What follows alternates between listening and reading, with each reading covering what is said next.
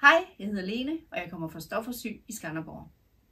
Det vi skal kigge på i dag, det er faktisk en af de videoer, vi har fået på opfordring.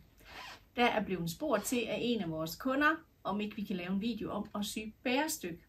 Og bærestyk er jo det, der sidder her i toppen af en skjorte, både på herre- og dameskjorter. Og det giver sådan en lidt anden skulder, fordi der ligger noget fasong i bærestykket, og det er ofte dobbelt. Så det skal jeg vise jer i dag.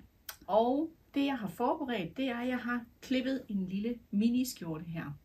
Her har jeg klippet efter et onion-mønster, et skjortemønster, en ryg og et forstyk, og sådan her ser bærestykkerne ud.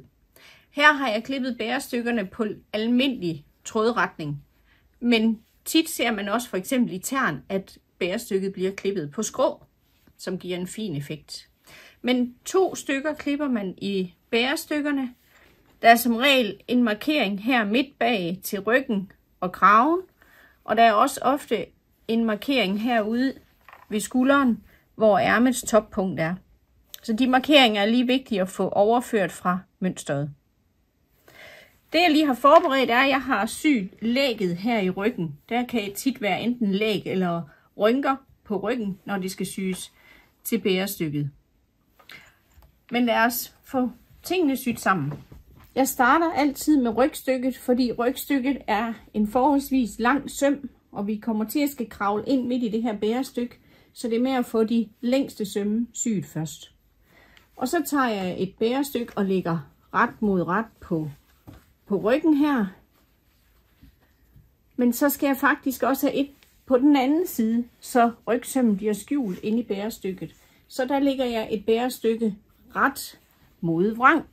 Så nu har jeg en sandvitær af mit bærestykke med retten opad, min ryg med retten nedad, og det sidste bærestykke med retten nedad.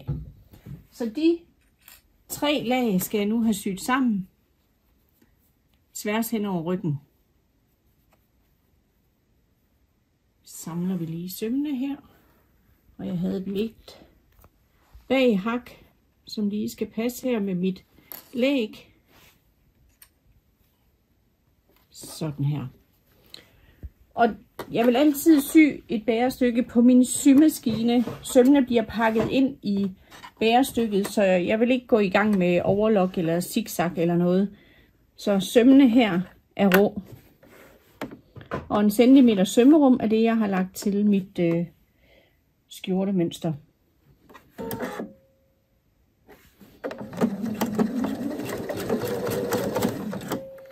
Og så syr jeg tværs over her igennem alle tre lag.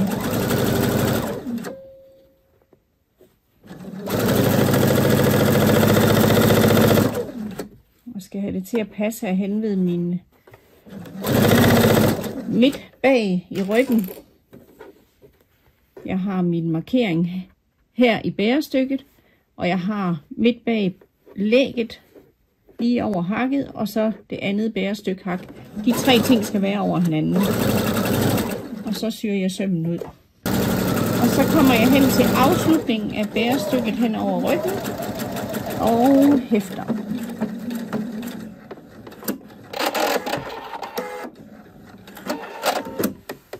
Så nu har jeg samlet de tre dele her. Bærestykket indvendigt.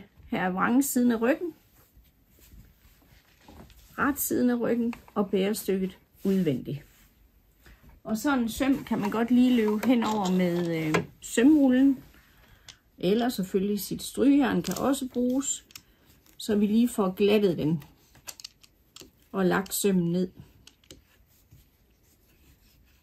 Det kunne også være her, man laver, hvis man vil have pyntestikninger. Så kan det sys henover ryggen nu. Så er vi klar til at sy vores forstykke på her på skuldersømmen.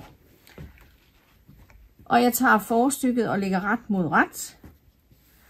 Og jeg holder lige de to øverste lag sammen her.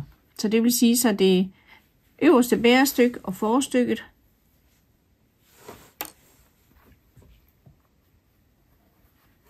så har jeg styr på de to sømme. Og det samme her i den anden side forstykket ret mod ret ned på det øverste bærestykke.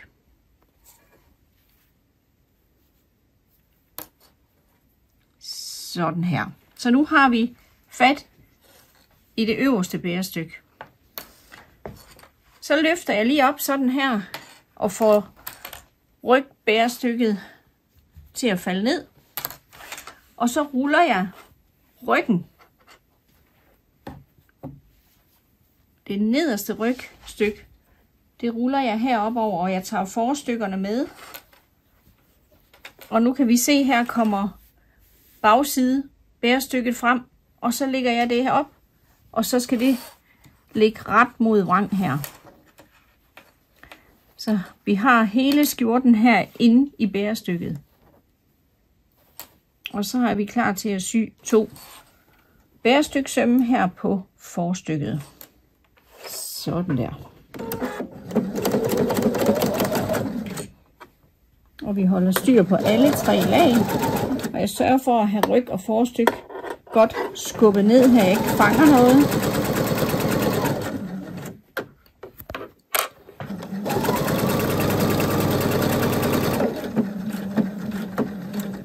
Og det samme sker her i den anden side.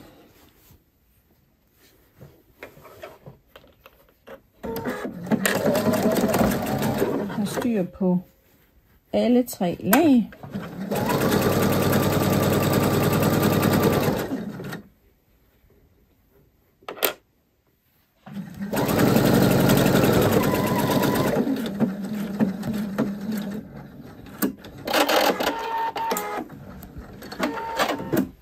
så har vi skulder eller bærestykke sømne på forstykket syet. Og så skal vi have fat i vores skjorte, som ligger herinde. Så vi tager fat i de nederste stykker og krøller rundt her.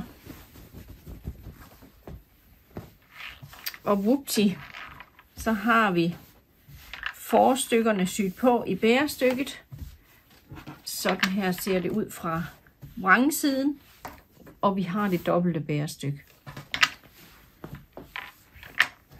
Og så er der igen mulighed for at lave pyntestikninger, inden vi går videre til at skal sy forkant og sy skjortekrav på. Og skal du se, hvordan man syr skjortekrav på, så følger du lige den video her, der går vi igennem hele den proces. Så rigtig god fornøjelse med at sy bærestyk på skjorter.